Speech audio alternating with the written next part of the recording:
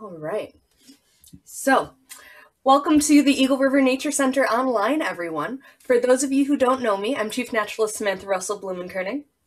And we are just about at a year of doing online programs like this.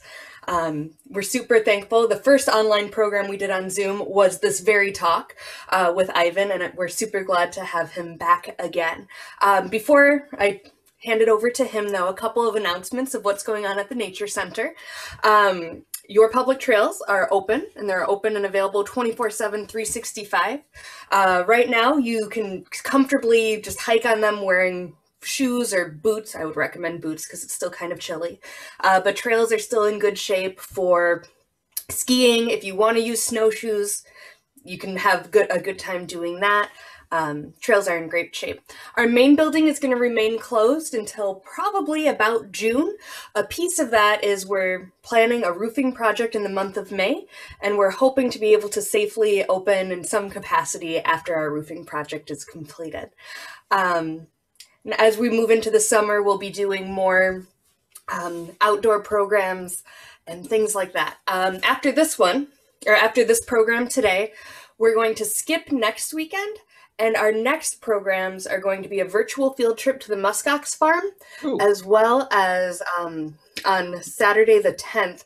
And then Beth Baker is going to be talking about Alaskan butterflies on April 11th. Information for that can be found at our website, ernc.org, or on our Facebook page. Um, other programs, just in case you're curious, every Friday at 11 a.m., there's a preschool age story time that's broadcast over Facebook Live. And those stories are posted for about 30 days. So if you're somebody who just likes a good story, or if you have preschool age people in your life, be sure to check that out. But with that, we have Deputy Director of Friends of Nike Site Summit today to talk about how to visit the site and all sorts of wonderful, exciting things like that. Oh, Final thing, I'm so sorry, Ivan. This program is being recorded and will be available online within the next week or so. Um, so just be aware of that. And then as you have questions or comments or concerns, um, please wait for an appropriate time, but you're welcome to unmute yourself and jump in with that. Uh, please be kind, loving, gentle to one another with that.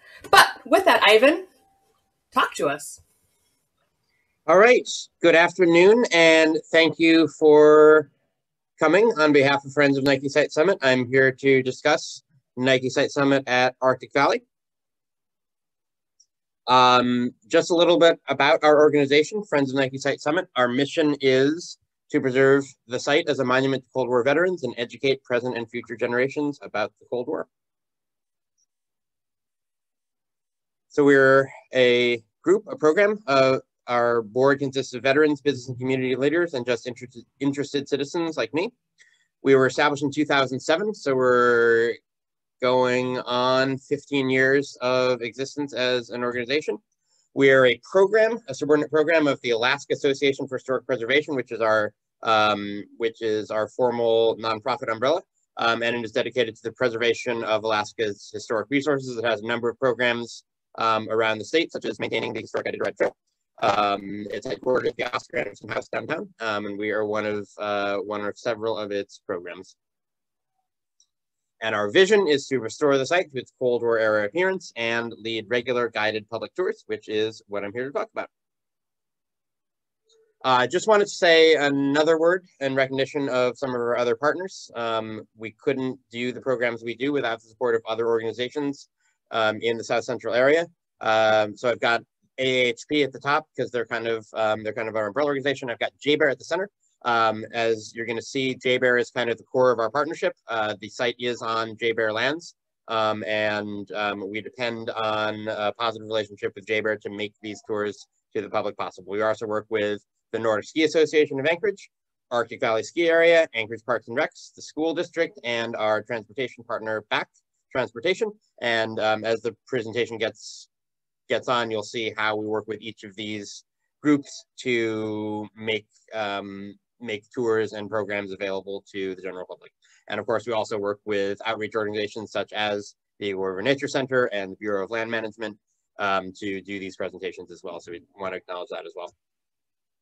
So Um, a little bit of history of the site, what it was. In the 50s, Alaskans were afraid of bears, but not this kind of bear. This kind of bear, the Tu-95 Bear bomber, the backbone of the Soviet, um, the Soviet bomber fleet, the Soviet Air Force. Um, and to understand why a site like this would have been of such concern to Americans of the time, we got to go back and talk about the origins of what was known as the Cold War. So during World War II, um, the United States and the Soviet Union were allies against the Axis. There was actually um, very active um, co cooperation. This is a photograph of Soviet American ferrying pilots in Alaska in 1944. There was a aerial staging route to bring American-made aircraft to um, to the Soviet Union for service on the Eastern Front and went right through Alaska. There was actually a Soviet Air Force base in Nome. Um, and so there was a very, very close and very active partnership during the war. Um, this is the historic photograph of Americans and Soviets linking up on the, um, the Elbe River towards the end of the war in 1945. However, within a few years of the successful conclusion of, of that war, the partnership very rapidly deteriorated and the world was divided into um, two kind of hostile armed camps. Uh, the United States and its allies in Western Europe and, and, North America, and the Soviet Union and its allies in Eastern Europe and in Asia. And that was the 45 year long confrontation known as the Cold War. Lasted about 1945 6 um, until 1991. In the early years of that conflict, we had a great advantage, which was that we had nuclear weapons, atomic weapons, and the Soviet Union did not. Um, this is a picture of an early American test of, um, of, of atomic weapons in 1946. So we had this advantage um, but much sooner than anybody expected, um, in large part because they had been spying on us. Uh, the Soviets developed a weapon of their own, conducted a test detonation in 1949 in Kazakhstan. Just a few years later, they were able to develop um, a, an aircraft that was capable of taking off from airfields in the Soviet Union with a with an atomic bomb on board and range to pretty much any target in the United States the aforementioned bear bomber. And if you have those two things together, nuclear weapons and a means to deliver them, you get this, which is to me kind of the, the iconic image of the Cold War. Um, kids doing nuclear drills, hiding under their desks for fear of nuclear weapons. And for for for 45 years, that was the way that the world was. There was this constant um, fear of of Soviet nuclear attack, and of course, um, their citizens felt the same way. Um, this constant atomic terror, this this fear that um, this fear that any moment there would be a nuclear conflagration um, almost without warning. Um, and so this called for something unique in American history. Um, up until then, every in every war, every conflict that America had been involved in, uh, it, you, there was a sort of a small standing professional army um, that would raise and train a large citizen army. The citizen army would go fight the war, generally successfully, um, then come home and disband, and all that would be left again was this small uh, professional military force, uh, the standing army. Um, that happened in the Civil War, in the Spanish-American War, in World War One, in World War Two, and that's that standing down process was underway at the end of World War II when this new conflict arose that required really for the first time um, a permanent large standing military that, um, that was dedicated to the defense of the North American homeland. Um, and that's a phenomenon sometimes known as the, as the garrison state or the military industrial complex. Um, and it was a result of this um, of this tension between the United States and the um, and the Soviet Union. I see that uh, Robert remembers uh, remember those those drills from his uh, elementary school days, um, and many people who were sort of um, who grew up in that era do. Um, was, you know, uh, the Cold War was really kind of the defining background event of about two generations of of Americans um, who were raised and grew up in the shadow of this of these atomic fears. So. Uh, Alaska was truly on the front lines of this of this Cold War. Um, it was called a Cold War because there was never active conflict. Uh, there were sort of proxy wars between different allies, like in Vietnam and Afghanistan. Um, but um, but there was a this constant um, state of alert, um, and Alaska was truly on the front lines. There were really three geographic front lines in the in the Cold War, um, right where the the two blocks met geographically: the West Germany East Germany border, the North Korea South Korea border, and then um, the North America Soviet Union border, which pretty much was in Alaska. And you see from this polar projection um, map just how close um, Alaska and and the Soviet Union get. Um, it really is true that you can see Russia from Alaska. You can see it from um, you can see it from Cape Prince of Wales, um, and there are islands in the Bering Strait that are really right next to each other. Um, so it truly was the front line of defense of the North American homeland. Any Soviet aircraft that will be coming towards um, targets in the lower 48, like New York City or Washington, D.C., would be coming over the pole and through Alaska and Canadian airspace. Um, and that's why Alaska was so critical to the defense of North America. Um, and for that reason, this phenomenon of the garrison state, this construction of, of facilities and the people to man them um, was more pronounced in Alaska than anywhere else. Um, so the, there were facilities from the high Arctic to the most remote towns in the interior that you can imagine uh, to all the way out in the Aleutians, Shemya Island, um, and to here in Anchorage. This is the elephant cage on base, which I'll talk about uh, a little bit more in a bit. Um, so all of this was organized by um, by a military command called NORAD, Nor NORAD, excuse me, North American Air Defense, um, which was a joint U.S.-Canadian command uh, established in 1957 that exercised command and control over all of these um, all of these facilities in the United States and Canada that were designed to protect North American airspace from these Soviet bombers, the Soviet intrusion. Um, and the philosophy, the strategy that they used was called defense in depth. And um, the way that I like to explain this, I used to teach, um, I used to teach uh, sixth grade in Anchorage School District, and I use this kind of metaphor to explain it to my students. And uh, I think it works for for anyone, for adults as well. So here it goes. So imagine the Cold War America, um, consider Cold War America as the home of a paranoid suburbanite, which in many ways it actually was. So you have a house, right? And you have your valuables inside of the house and you want to protect it. Um, so the first thing you'd probably do is build a fence. Now here's where the metaphor falls apart a little bit because you, these are aircraft. They're flying at many thousands of feet in the in the air, so you can't build a physical fence.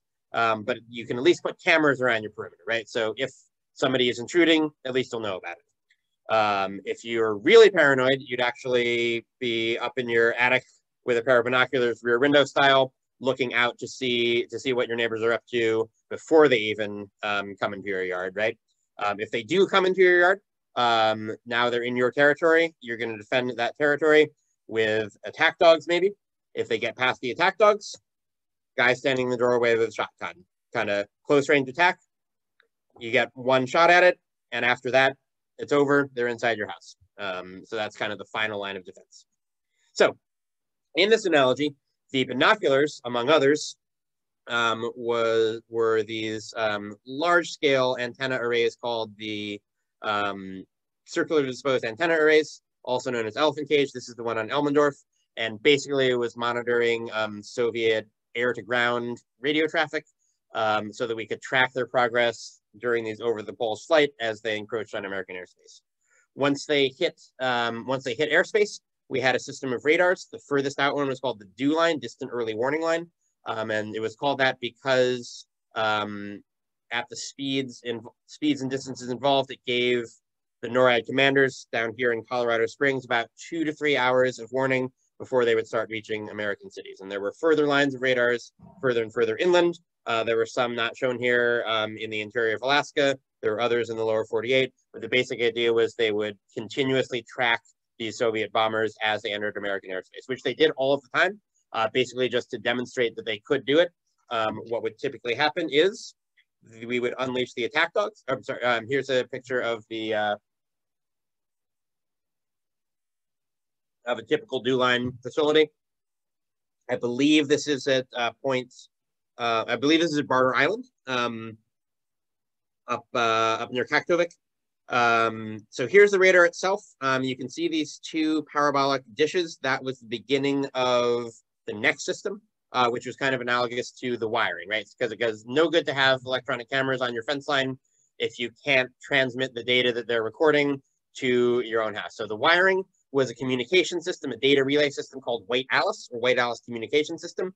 It used the system called tropospheric scatter where they would bounce the, the signal off the atmosphere and it basically allows for over the horizon communication. With radio, it has to be um, direct line of sight. So this allowed for longer distance communication, uh, which allowed building fewer of these stations. Uh, so they would transmit this, this, this data from the DEW line um, to Elmendorf, which was the local headquarters, um, down to Southeast Alaska, and then eventually it would get to the lower 48 by undersea cable. So this data was transmitted from the radars to the command centers, and they could develop a response. And the first response as I alluded to, was um, unleashing the dogs. So the so the equivalent of attack dogs were um, intercept fighter interceptor jets um, that conducted air interception.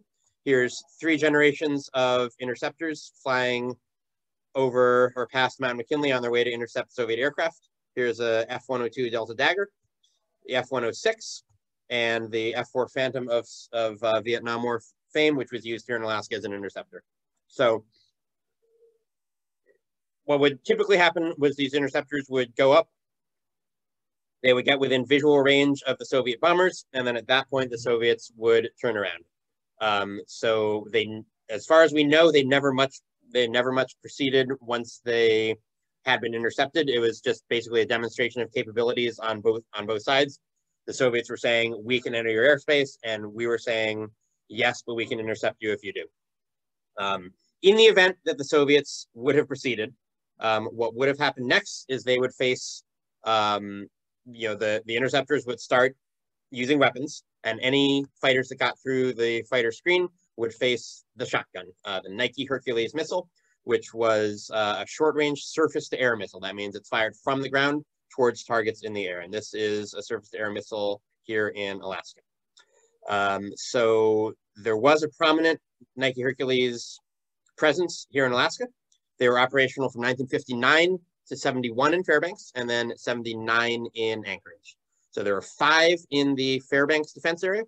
Um, here is a live fire being done at Site Mike, which is kind of um, out by Eielson Air Force Base.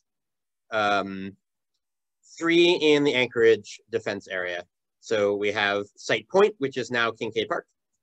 Site Bay, which is out on the other side of um, of Knik Arm, down at the end of uh, Knik Goose Bay Road, um, kind of by uh, Goose Creek uh, State Game Refuge, and then of course uh, Site Summit. And then um, there was also an Army Defense Command Post, um, which sort of coordinated the firing between the two batteries, which was co-located on what was then a quite large Air Force station on Fire Island in Cook Inlet, um, so together, those were the, the four facilities that made up the Anchorage Defense Area. I do want to mention that this is not just a um, uh, Alaskan phenomenon, Alaskan weapon system. There were hundreds more um, batteries and missiles in the lower 48 and abroad designed to defend American cities, industrial areas, government centers, places like this. Um, this is maybe my favorite um, Nike photo. This is in pretty much downtown Chicago um, and you'll kind of understand why in a bit why this is such a such an alarming or at least interesting um, photo uh, with a missile this close to um, to high-rise apartment, uh, dense urban housing.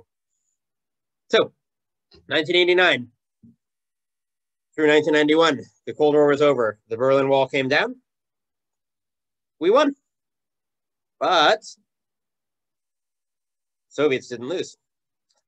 Uh, this never happened. Uh, there never was a large scale nuclear exchange.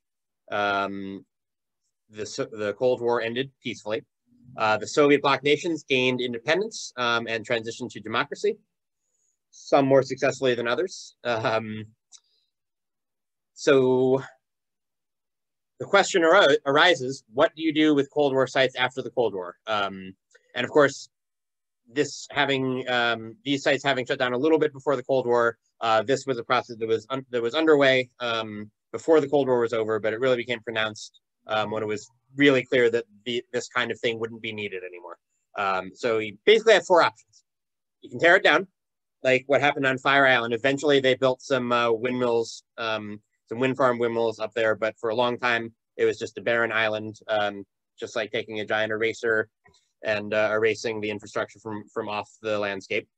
You can just abandon it, um, which is less work than razing it. Uh, you just leave it to rot in place, which is what happened at Site Bay, which is um, an interesting but not very pleasant uh, place to visit today. Um, really just left to the elements.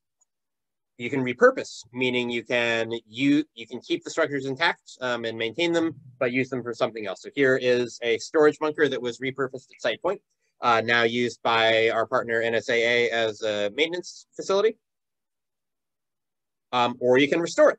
Uh, you can make it look like it did when it was in use, which is what we are doing up at Site Summit. Uh, so I want to talk a little bit about the restoration work that we've done at Site Summit. And to do that, uh, I want to just give everybody a little bit of an orientation of the site. Every Nike site was divided into two areas in Alaska, at least um, down in lower 48. There was actually three areas. They had a separate admin administrative area, but in Alaska, because of the construction challenges, they tried to consolidate things as much as possible. Uh, so they're basically two parcels. You had the lower site, um, called the lower site here at Site Summit because, yes? Okay. Um, so it's called the lower site um, because it was quite about 800 feet lower in elevation than the upper site, um, which was somewhat of a unique feature of Site Summit. Most of the sites are at grade. Um, so the lower site was where the missiles were launched from. And um, the upper site was the um, was where the radars were. Um, so here's a photo of the lower site that gives you kind of a, a good overview um, of all of the buildings that were there. The large concrete structure, structures are the launch bunkers themselves, and there are a couple smaller buildings that I'll uh, that I'll talk about. So the first one um, that FONS restored was the missile maintenance building. Um, there were periods when the um, when each battery sort of went to a, a, a, down status. They would they would take down the missile, break it into pieces for repair. They would they would do repairs on the warhead. They would do repairs on the electronic system. Um, and when they broke it down, they would move it into this uh, facility for for maintenance. Um, so here's what it looked like before we worked on it. And this is about what it looks like today. The sentry stations, uh, these were high security sites that were access controlled. So there were military policemen guarding the site. We actually have uh, one such uh, gentleman in the audience today. We have Lance, who is a member of our organization and a tour guide. Uh, Lance was a sentry down at Site Point, uh, or a military policeman down at Site Point. So here's what it looked like um, during the operational period. Here is what it looked like prior to stabilization. This is our founder, FONS founder, Jim Renkert, working on uh, a sentry station. And here is what it looks like today. Dog kennels um, were an additional um, one. We asked JBER if we could also um, work on the dog kennels, and they said yes. Uh, so here's what those look like prior to the work we did on it. And here they are today. Um, and as, it, as you can imagine, um, the dog kennels turned out to be one of the most popular uh, stops on the tour because everybody loves dogs, right? I know I do.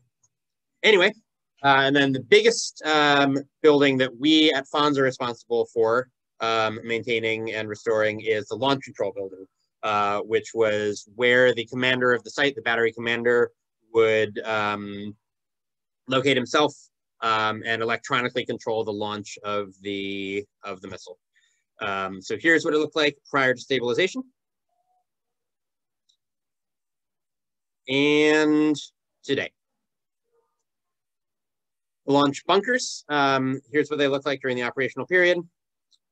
And today, um, JBER is responsible uh, per the, or, the arrangement that we made with them um, for restoring these. This is just kind of beyond the capacity of a, of a nonprofit organization such as ours This is such a large, heavy structure. So JBER has restored these. We've done some work on the roofs to make them watertight. Um, so that's what they look like from the outside and the inside. This is our um, director and veteran Greg Durocher um, giving a talk about three years ago. So the upper site, uh, here's a picture taken when it was operational. You can see the uh, five radars that were on the site, one, two, three, four, five. Um, and today, um, you can see that one of the buildings is gone and there's some modern antenna, um, but that's what upper site where the radars were looks like today. There was a barracks building there, uh, officially known as the Battery Control Building. Here's what it looked like um, during the Cold War and prior to stabilization. And unfortunately, we were not able to salvage this one. There was just too much water damage. Um, JBER did agree to leave us the foundation. So um, we've got it sort of marked out where each room used to be so we can walk uh, visitors through and discuss, um, you know, where each room was. Um, the radar clamshells, uh, there were these were protective covers that went over the radars to protect them from Alaska's uh, site summits very harsh um, weather and wind conditions. So they would retract, um, come open when the radars were in use and close up to protect them when not in use. So that's what they looked like during the Cold War. This is what they looked like prior to stabilization. And again, this is this was a JBER project. And here is what they look like today. So um, I also want to talk a little bit about how these things actually worked together. Um, so what would happen was, again, these bombers would have been tracked all the way from the moment that they entered airspace. And the data was, was handed off to progressively closer and closer radar chains, um, and eventually to the um, command center, the command post, um, the Air Defense Command Post on Fire Island. Fire Island would then assign targets to each of the batteries, and the longest distance uh, radar, the acquisition radar, would start tracking them. They would transfer the data to the target, to the to the um, three tracking radars. So as the um, as these aircraft entered the range of these radars, which was about 100 some miles, um, the three radars would start tracking. So two radars would um, would track the would track the target aircraft. So they were, they were expecting a formation of bombers to come in. So they would start tracking them. Uh, the reason that there were two was to assist with triangulation and get data on elevation as well as um, as well as location, and also to defeat um, any attempts by the Soviet pilots at jamming the signal. Um, so they used the two radars to track um, track the aircraft, and then the third radar was pointed down towards the launch area, and it would track the missile. The missile had a guidance system inside of it. Um, and so as the aircraft got in range and they came up with a firing solution, the commander of the site, um, who was a, a, U.S. Army captain typically, um, would get authorization to fire the missile, or if he was using a high explosive warhead, he could fire it on his own initiative. But basically, he would um, he would unlock the electronic suite, um, the electronic uh, device that would launch the missile. The crew, um, the crew would um, the crew would attach a, a large cord from that would go from the launch control building to the, the missiles. It's called the umbilical cord. Um, they would move it out to the launch pad. Um, they would arm it. Um, and then when the battery commander was ready, he would literally press the red button. Um, that would ignite the, um, lower stage it would launch. Um, the booster would fall off. The upper stage, which was guided, would continue. Um, and it could go about 90 miles, uh, flight time about two and a half to three minutes, and ideally explode about um, seven miles high in the sky where the aircraft were flying.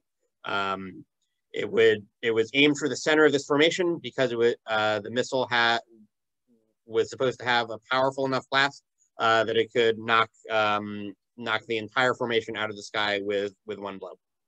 And uh, I apologize, Lance. Uh, I referred to you as a as a military policeman. I was thinking of one of our other veterans. Lance was actually a um, Lance was actually a uh, launch crew member. Um, so, Lance, if you're willing to, do you want to talk a little bit about um, how the launch process worked?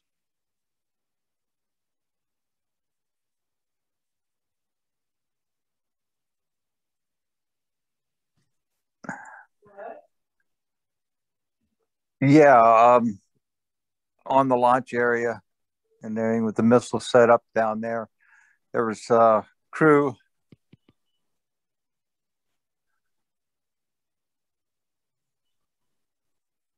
Am I on? Yeah, you're on. Oh, okay. Yeah, the crews were set up and everything, and we sit, rolled the missiles out and everything, put them over onto the launchers and uh, elevated them uh, for training purposes, we put a we would attach a flight simulator to one of the launchers, and that's what the missile tracking radar would actually lock onto and everything. And uh, it would actually do the fire and everything, and would uh, simulate leaving the launcher, and the missile tracking radar would track it to its uh, target and everything. So, and uh, let's see, we had high explosive and nuclear warheads here out at Site Point and everything. And actually, all the batteries up here and everything had that capability. Uh, they were surface to air and they were also surface to surface capability and everything on these missiles. Uh, anything else?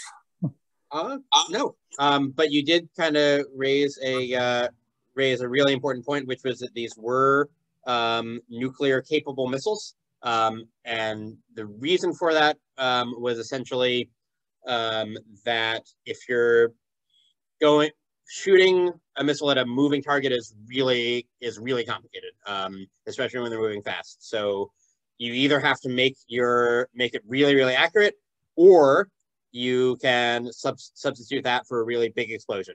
Um, during the Cold War era, the the computing technology just wasn't there to make it really, really accurate. Um, so the solution um, that the Army had in those days uh, generally was to put a nuke on it. Um, so a question that we get all the time is, wasn't it a really bad idea to put a nuclear weapon on a device, a nuclear warhead on a weapon that was going to detonate in the skies, you know, over American cities. You know, in Alaska, it's a little bit different um, because, you know, 90 miles, it's pretty remote, although we do say that's Talkeetna in one direction and um, Seward in another.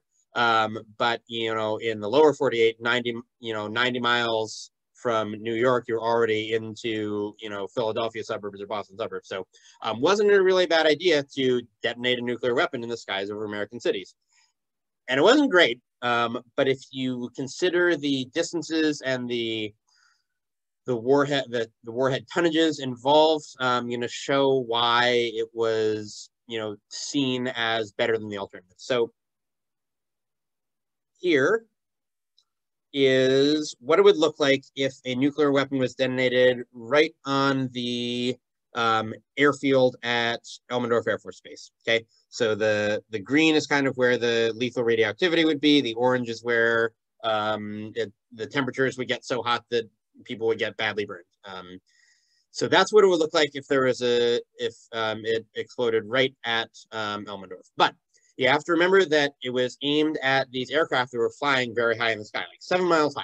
Um, so you can't really show what that would look like because this is on a two-dimensional set. Um, but you can imagine if the explosion was happening not literally at the airfield, but seven miles away, right? So what would the effects be of this kind of explosion? This is 20 kilotons, which is the size of the, which is the main size of the warhead. So what would 20 kilotons look like from seven miles away? And the answer is basically nothing. So it's not saying that the effects would be felt here. It's saying that this is as close as you can possibly get to Joint Base Elmendorf in any direction. I can put it anywhere in this radius. Um, and there's basically no effects. A bright flash maybe, um, rattle windows maybe, but uh, there do- it seems unlikely there would have been any really serious effects from an explosion that high in the sky. Um, it's also, um, when it's that high in the sky, there's less stuff to make radioactive. Um, the fallout scatters over a, a much wider area. Um, so the risk is certainly not non-existent, but it's reduced. Now compare that to the threat that was being faced. Remember, these bombers didn't have conventional bombs; they had hydrogen bombs, um, which are vastly more powerful than what was on top of a Nike. Um, so um, this is what it.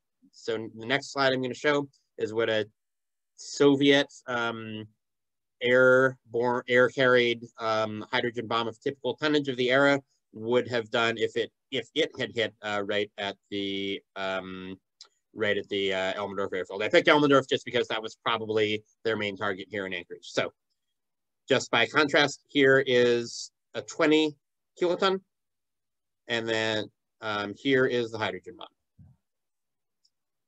So as you can see, um, the effects of a hydrogen bomb on Anchorage or on Elmendorf would be so devastating that the idea was to use uh, low, smaller scale atomic weapons to eliminate the threat and literally uh, deal with fallout. Any questions about that? All right, hearing none, I will move on. Um, I just want to add or say um, that you know you can talk about the technology all day and it's it's interesting. I'm into it, um, but really, what makes um, the story of these Nike sites interesting to me is the human side of this technology. The fact that people like Lance actually worked on these machines, they actually lived in these facilities. Um, the, these these sites were not just workplaces, but homes to thousands of soldiers um, over the years at, at all of these sites. So I just want to show a couple pictures uh, depicting life at Site Summit. Uh, just a reminder that these were real people who, who worked here, um, worked under these conditions. Uh, they had a they had a, a little dog mascot here. Um, this here in the lower center is our director, Greg Durocher, as a young man. Um, and to me, that's the value of going on these tours. It's not to see the technology, um, really, it's to hear the stories of the people who worked and lived there, and that's that's what you get out of a site visit. So, sounds amazing. Let's go. There are some issues. Um, as I've mentioned, Site Summit is on active JBER training lands. It is used um, in a couple different ways by the Army mostly uh, for training, and is not open to the public. If you are a U.S. senator or a cabinet secretary, you can get a Blackhawk ride up to the site. Is anybody here a U.S. senator or a cabinet secretary? Okay, so in that case, you got to go with us. Um, the military road is you got to drive up. Uh, the road's open to the public up to the Alpenglow Lodge, uh, but not to Site Summit. There's a turnoff about a mile below the lodge um, that is controlled access. So in order to go, you got to get authorization from the JBER commander. And that does not mean you should go to his office on Elmendorf and ask for permission. It means you go on a tour with us. So the only public access is the hiking or bus tour through Friends of Nike Site Summit. Um, for that, um, you need to make reservations five days in advance because you have to get a real basic um, clearance from the security forces. Um, and if you're doing the hiking tour, JBER does ask that you buy an iSportsman pass. Um, so it's an additional ten dollars um, in addition to the cost of the of the tour. Um, but it's a it's an investment. It gives you a lot of additional value. So once you have it, you don't need military ID for it. Anybody can buy one. Um, but once you get it, um, it gives you access to a variety of terrain. all these green areas on the map here are recreational lands that you can access on JBER just by getting this pass. So once you have it, um, you can make great use of it. Um, you so there are ORV terrain, there's lakes, there's hiking trails. Um, it's really a whole you know hidden world of recreational lands um, available to every citizen of Anchorage that is kind of underutilized. And all you need to get it is a iSportsman pass. Anyway, the tours that we are doing this year, we already completed um, our first ever Site Point uh, ski tour. Again, Site Point is the one that is uh, currently occupied by Kincaid Park. Um, so we did a ski tour of that one at the end of February. We will be doing a hiking tour in about a month on April 24th.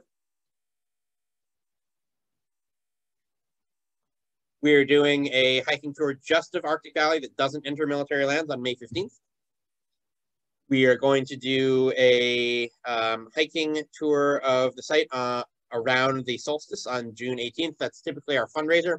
What we normally do is have a, a dinner at Alpenglow Lodge, uh, usually with a guest speaker who talks talks about some Cold War topic. Obviously, um, we don't think we're going to be quite ready for that um, with COVID in June, um, but we're hoping to bring that back next year. But we do ask those who go on the solstice fundraiser to pay a little bit of a little bit of an extra uh, because that's our main uh, fundraiser um, each year.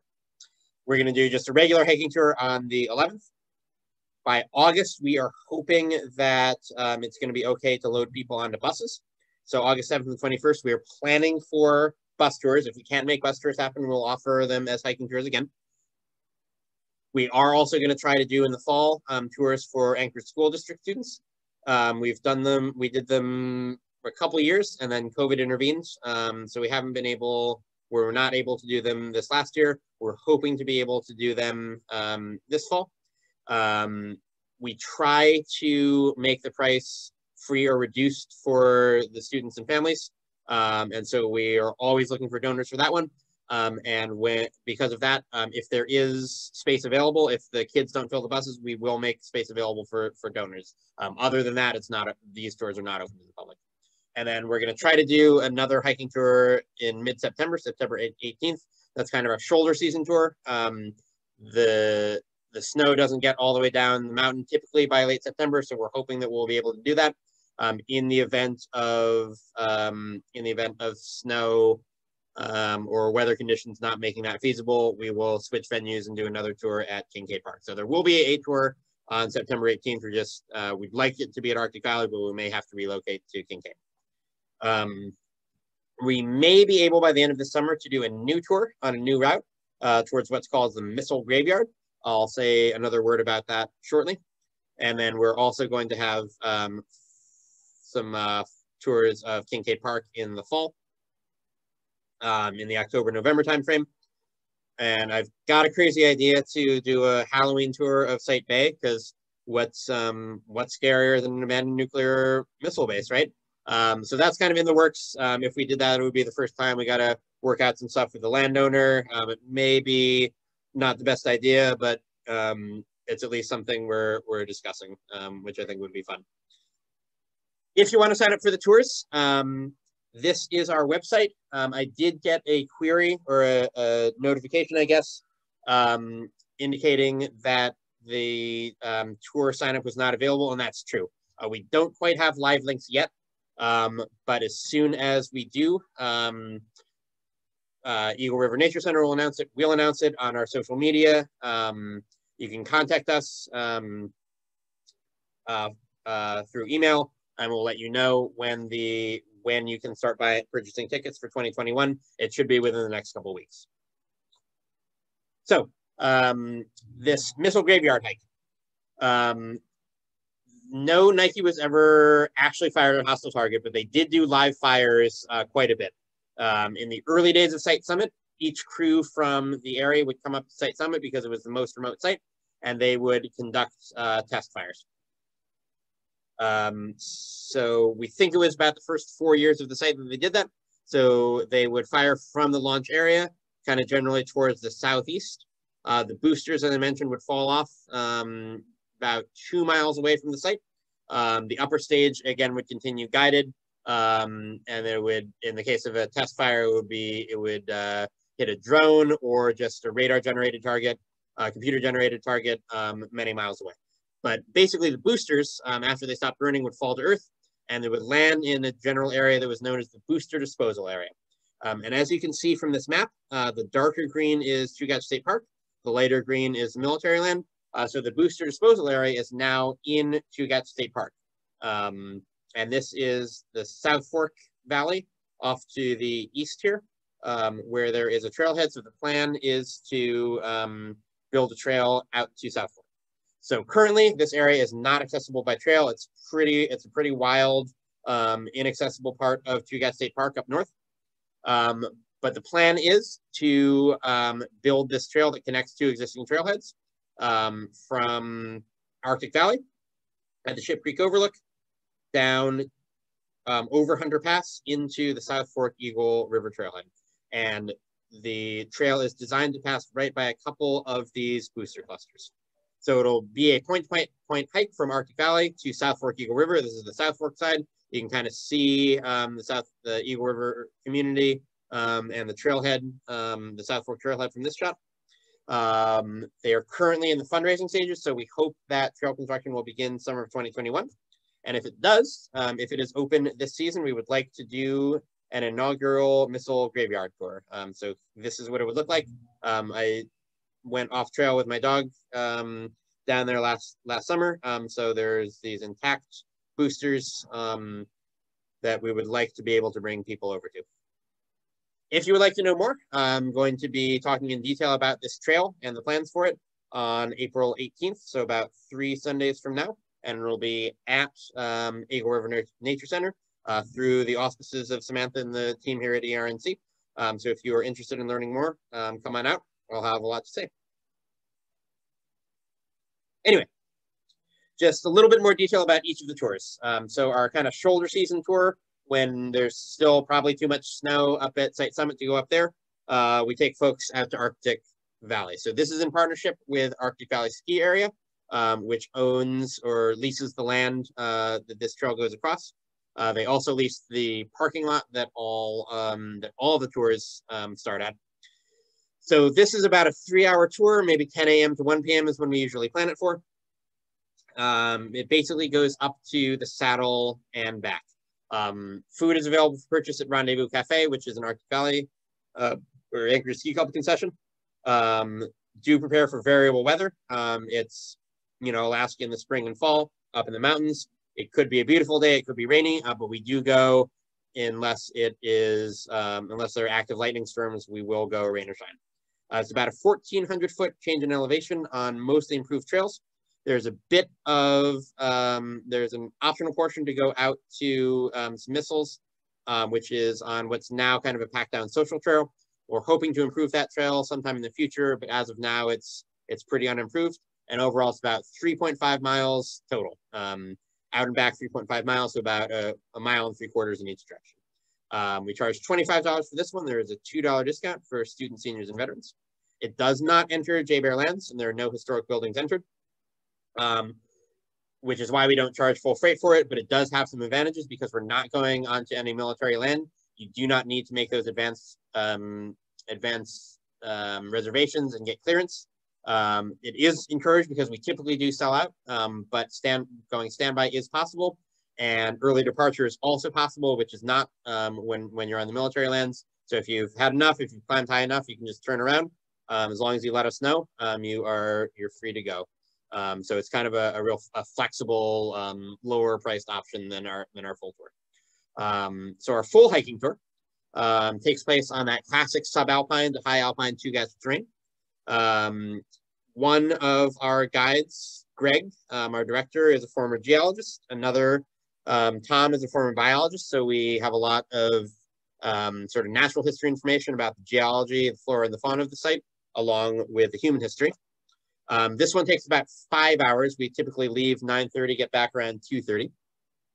Um, again, prepare for variable weather. Sometimes it looks like this. Sometimes it looks like that. This one is about a 2,500 foot change in elevation on um, mostly on improved trails, um, a few unimproved trails, and there is a short section where we do go completely off-road. Uh, we're on open tundra. So this is a, a vigorous hike. Uh, we kind of compare it to climbing um, the steep side of Baldy or the last bit of Flat Top or up to Hunter Pass. Um, so it's not that long, but it's on the steep side. Um, and we just, we really want people who are interested to go, um, but we also don't want people to go and have to um, go and have to turn around and, you know, not get your money's worth. So um, if, so to this tour, if you're interested, uh, just be advised that it is on the rigorous side. Um, and if you're uncertain, just do yourself the favor of doing a doing a bus tour where you know you're going to have a good time. Um, so we're hoping to do what we did in the last few years pre-COVID, which is provide vehicle transportation between the upper and lower sites. Um, just because walking on a roadbed is kind of tedious and there's not that much to see. Um, but because of COVID last summer, we had to walk up the road. Uh, we may have to do that again, um, at least early in the tour season this year. Um, so that is to be determined. Sadly, there are no dogs because it um, enters historic structures and military lands. Um, we charge $40 for this one, about a $2 discount for students, seniors, and veterans. Again, because it enters JBER land, that advanced registration um, is required and the iSportsman annual registration is required.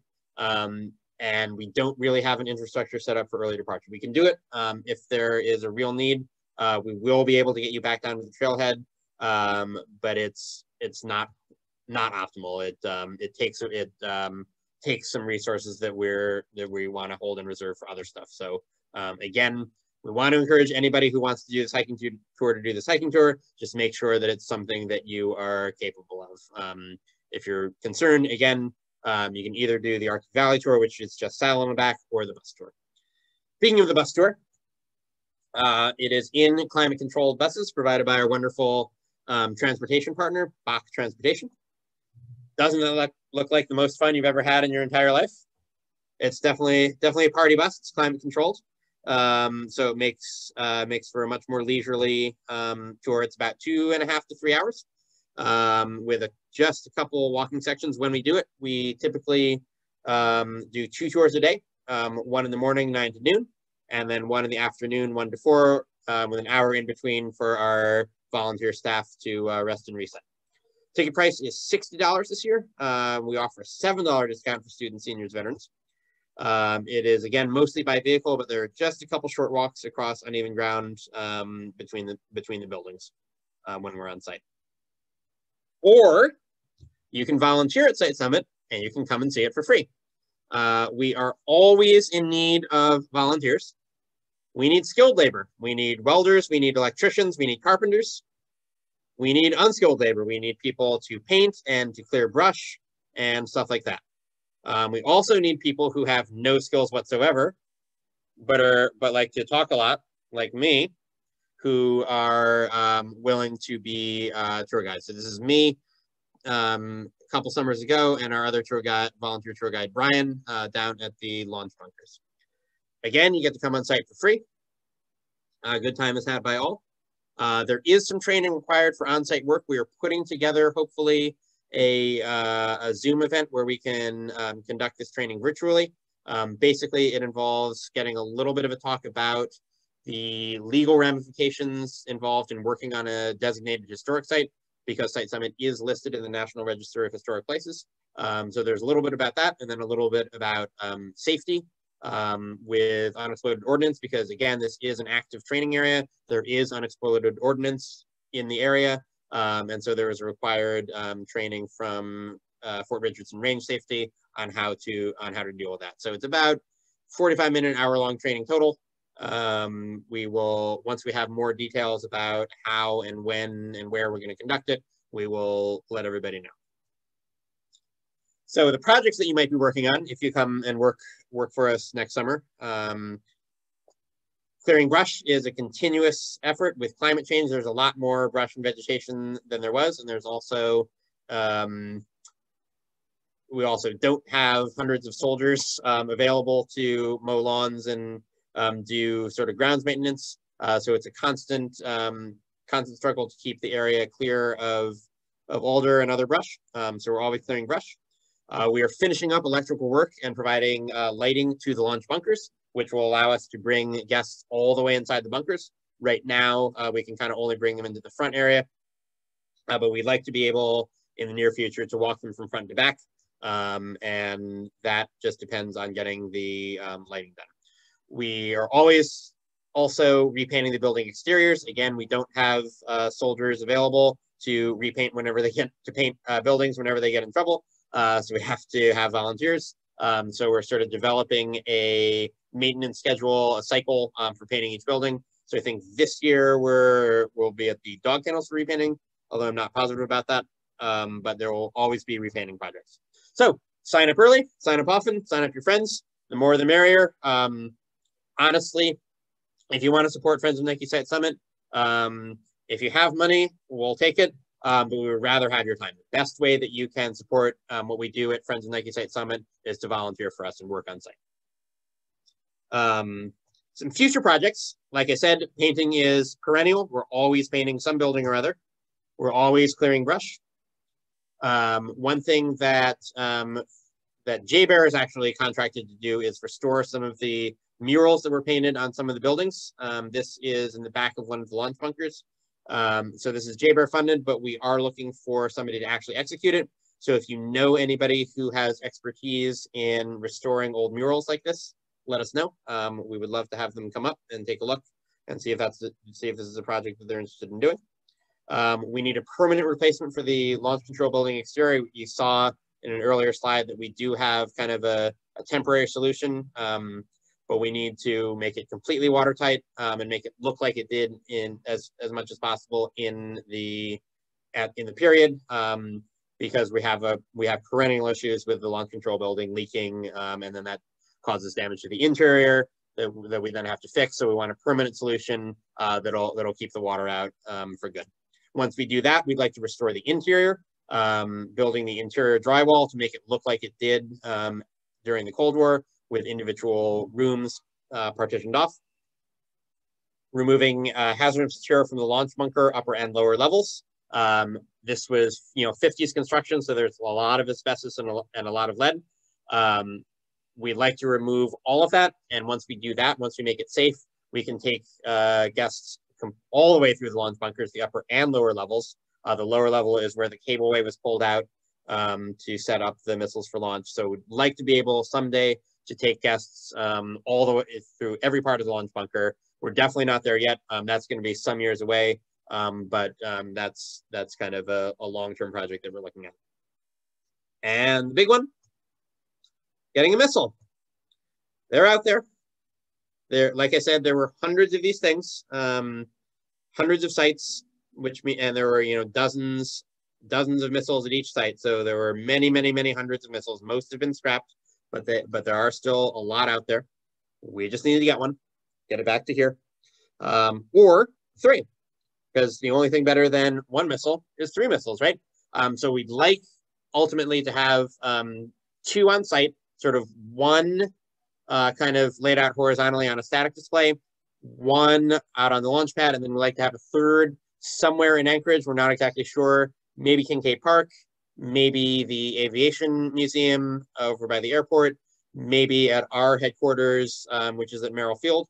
Um, and we like to sort of have that as an attraction, you know, sort of an advertising attraction that will gin up interest in in Site Summit visits. So we'd like to get three. We'll settle for one. Um, it costs a lot of money. So if you have $20,000 or a missile lying around, um, let us know. We'll take it. Um, so yeah, that's that's our goal. Um, so that's pretty much all that I have to say. Um, I just want to sort of end on a note that I that we always end on um, on the tours and in these presentations, which is going back to this idea that we won the Cold War, but the Soviets didn't lose. It was a victory that was peace, as my friend um, Reverend Matt Schultz likes to say. Um, the Cold War ended peacefully on Christmas Day in 1991, uh, December 25th, 1991. The, um, the Christmas star on was built by soldiers originally at Site Summit. And so that star um, built at this military site became a symbol of the peaceful resolution to the Cold War. And I just want to say, you know, this this victory that was achieved didn't just happen. Uh, it happened because of the efforts um, and um, determination of people like Lance, who were willing to live on live on this mountain in the winter, um, to guard the guardhouses and man the launch crews and fly the bombers and fly the interceptors uh, that allowed for the United States to achieve a peaceful victory uh, during the Cold War. And that's really why we do this, to honor uh, those veterans who served during the Cold War with that said, are there any questions? I'll uh, I'll open up my chat uh, menu, so I'll I'll take them in chat. But also feel free to unmute yourselves and um, ask. Um, Jack, hi Jack, asked what was the purpose of a dog kennel at a missile site? Um, so these were guard dogs. These were um, canine military working dogs. They were very ill-tempered German shepherds. Um, everywhere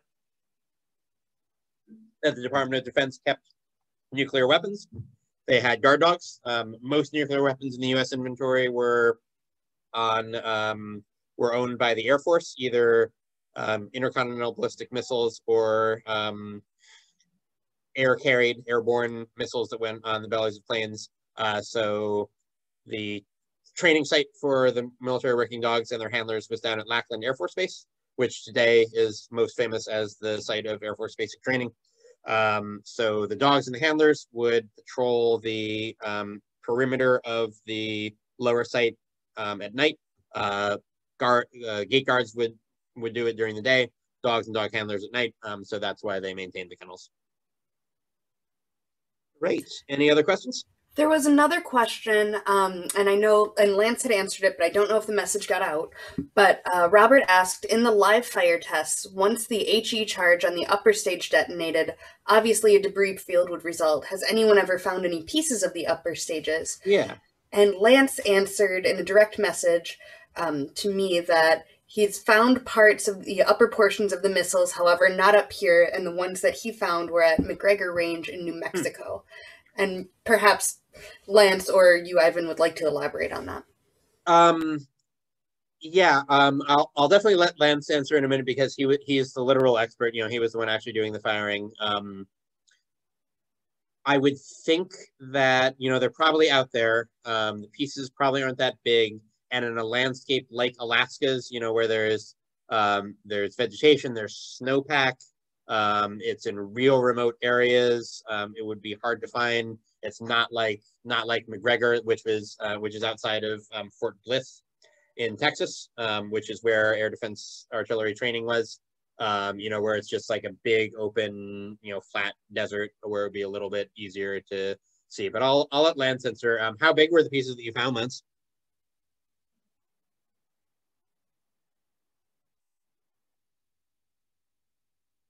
Is he still here? And I just looked, it looks like he maybe had to go off and do something else. Okay, yeah. So um, I will. I'll try to find an answer for you, Robert, or you can ask at the next board meeting. um, but yeah, that's a, that's a great question. Um, it would be yeah. I don't know how big the pieces that Lance were was referring to um, were, but you're you're definitely right that it would it would generate a, a debris field. It would probably spread out a pretty good ways because um, you know the detonation was seven miles high, but uh, but the pieces had to had to land somewhere, right?